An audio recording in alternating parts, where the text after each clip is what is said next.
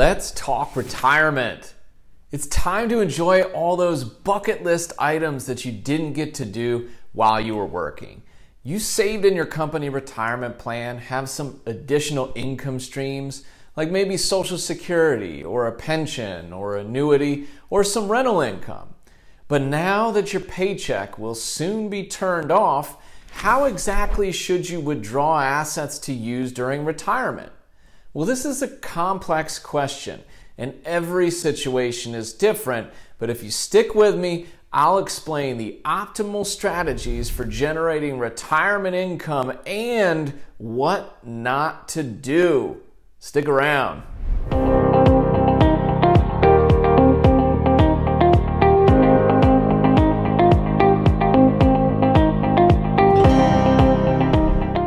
It's Colin Exelby here, and I provide financial planning for business owners and their families that makes sense by helping you see the forest through the trees.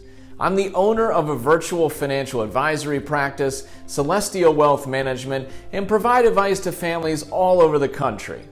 Part of that advice is retirement income planning how do you turn these assets you accumulated into the most efficient retirement income stream possible? Numerous studies have shown that with a little thought, preparation, and analysis, you can extend the life of your portfolio, increase your distribution rate, or pass on more wealth to your heirs.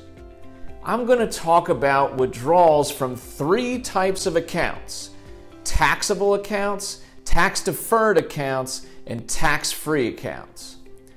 Now, taxable are non retirement accounts where you've already been taxed, and your only taxes would be capital gains when liquidating assets.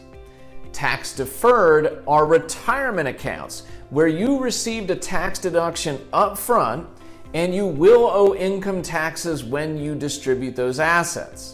These accounts are typically traditional or rollover IRAs, SEP or simple IRAs, 401ks, or 403bs. All right, tax free assets are assets where there aren't capital gains or income taxes when you distribute them. These are typically a Roth 401k or a Roth IRA account where contributions were initially taxed but growth and distributions are not taxed when you withdraw them as long as the account is open for at least five years and some simple age restrictions are met. Okay, the first step to figuring out how to distribute assets is to figure out how much you need annually to live on after taking into account any other income sources. So, what do you do? First, figure out your total retirement need after taxes, of course, and then subtract any after tax income flows that you have, like Social Security, pensions, rental income, and annuity payments.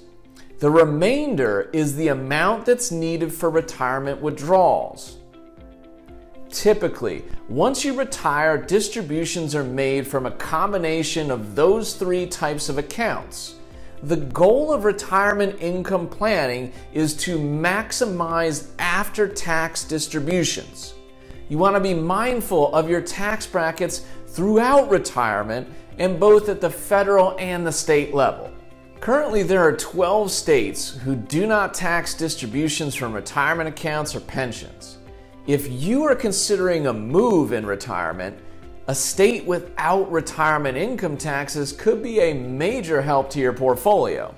Nine states don't currently levy any state taxes, and another three don't tax retirement distributions.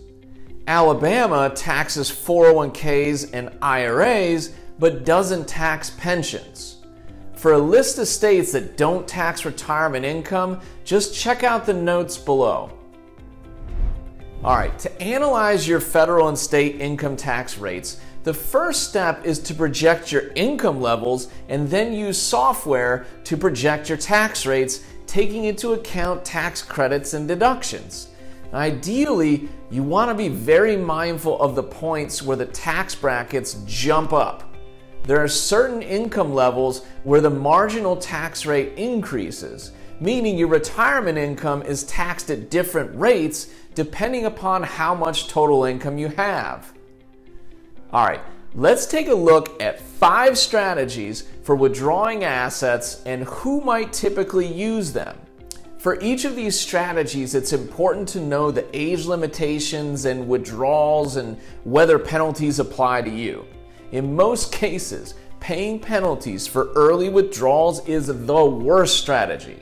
The government created these plans and gave incentives for you to save for retirement.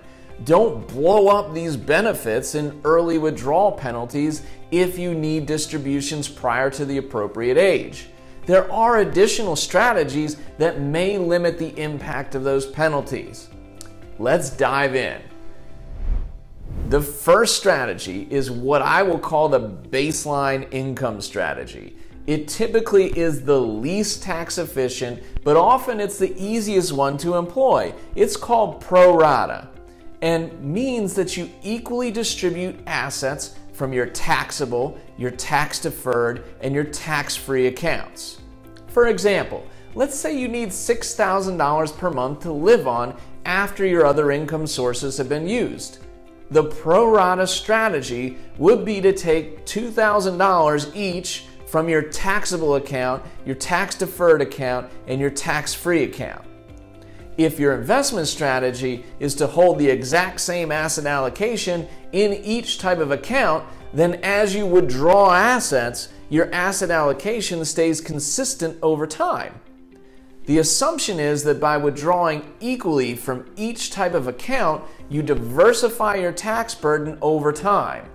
This strategy is ideal for someone who would not change marginal tax brackets based on distributions.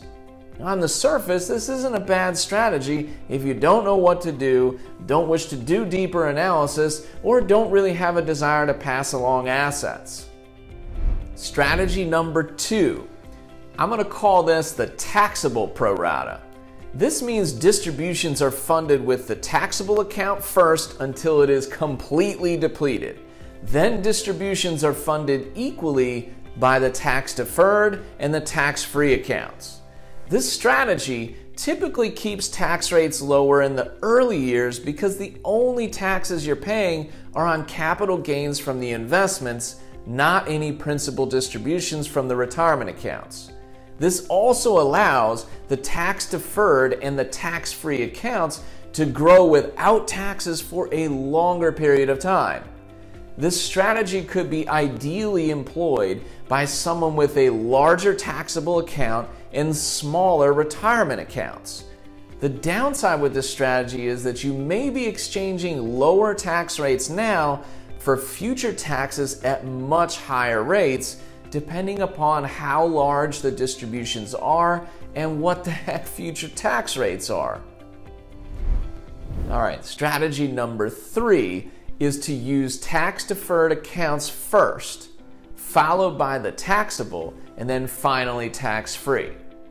This strategy aims to keep the tax free assets growing as long as possible and more evenly spread the tax obligation over time. Typically, in the early years of retirement, or if you retire early, your income levels are much lower than while you were working. Using tax deferred assets first capitalizes on the fact that while your income is lower, usually before mandatory retirement distributions take effect, and potentially before receiving Social Security, you can distribute assets that will be taxable and still stay in a lower marginal tax bracket.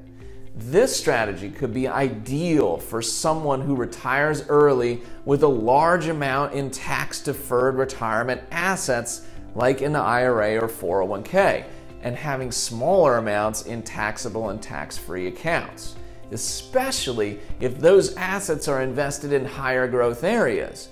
It allows those assets to grow for a longer period of time before liquidation, and then liquidation could be at lower tax rates. Strategy number four is to distribute taxable assets first, then tax free assets, and finally, tax deferred assets. This strategy is designed to defer the largest amount of tax for as long as possible. And this strategy would be ideal for someone who either has a shorter life expectancy, maybe due to some medical condition or some family issues, or someone with a larger tax free and taxable account. By distributing taxable assets first, of course, you only pay capital gains taxes and you defer the larger income taxes from tax deferred distributions so far into the future that you may not even be distributing them at all before passing away. The fifth strategy is to use taxable assets first, then tax deferred, and finally tax free. Now, by default, this is the most often used retirement income strategy, and intuitively, it makes sense especially if your asset allocation is aligned, meaning your investments across the different accounts are aligned. First, allow your tax free Roth assets to grow as long as possible. You'll want to distribute all your taxable assets first, where only capital gains taxes are paid. You next would withdraw all your tax deferred assets. This is when you would most likely be in your highest marginal income bracket in retirement. And finally, when all of those other assets are gone, then you distribute your tax free Roth assets. This strategy would be ideal for someone with larger taxable assets who desires to pass on assets to their heirs because tax free Roth assets are often the most desirable assets to pass on because of their tax free nature. The problem with this strategy is that in your early retirement years, when your income is often the lowest, you're not taking advantage of those low marginal tax rates. You often end up in much higher tax brackets than needed in the years when you're distributing your tax deferred assets. So, what's the ideal strategy? In my opinion, the ideal strategy is to be fluid, not rigid. Look, tax rates change. Your distribution needs change. We all make assumptions, but we don't know what's going to happen in the future. And market conditions change. I'm a big believer that maintaining flexibility makes a lot of sense. In my experience, retirees often spend the most in the early years of retirement. You do all those things that you wanted to do and you didn't have the time and you pay a lot of expenses in the later years when healthcare costs are significant, both in the home and if you need additional care. The years in the middle are often when you have lower spending needs. Because retirement spending isn't often a straight line, your withdrawal strategy should reflect those changing needs. I firmly believe that based on much analysis, that attempting to maintain a consistent income tax rate throughout retirement rather than lower and then higher later on makes a lot of sense. The most tax deferred assets that you can distribute in the early years of retirement at lower tax rates, the better. Even if you don't need the assets right away, they could potentially be reinvested in tax free Roth accounts through a conversion or in a taxable account where only the capital gains taxes would be due, or maybe some combination of both. This is a strategy that many people miss out on. I see it all the time. They miss out due to the desire to delay taxes as long as possible.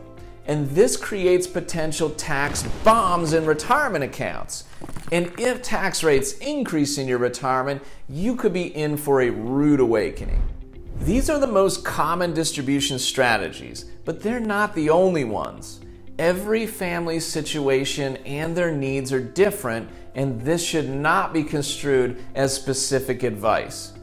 Thankfully, nowadays powerful financial planning software exists to examine each of these strategies as it relates to your own situation and determine the best course of action. Currently, in my practice, I use some incredible software from RightCapital that helps me analyze this with my clients. If you're getting close to retirement and wish to analyze your withdrawal strategies, feel free to reach out to me at my website, celestialwm.com, or speak with your trusted advisor. If you enjoyed this video, just hit that little like button and make sure you smash that subscribe button so you're notified whenever I produce a new financial planning video. And YouTube loves engagement, so you really help the channel. If you have any comments and questions you'd like to add, please do so in the comments below.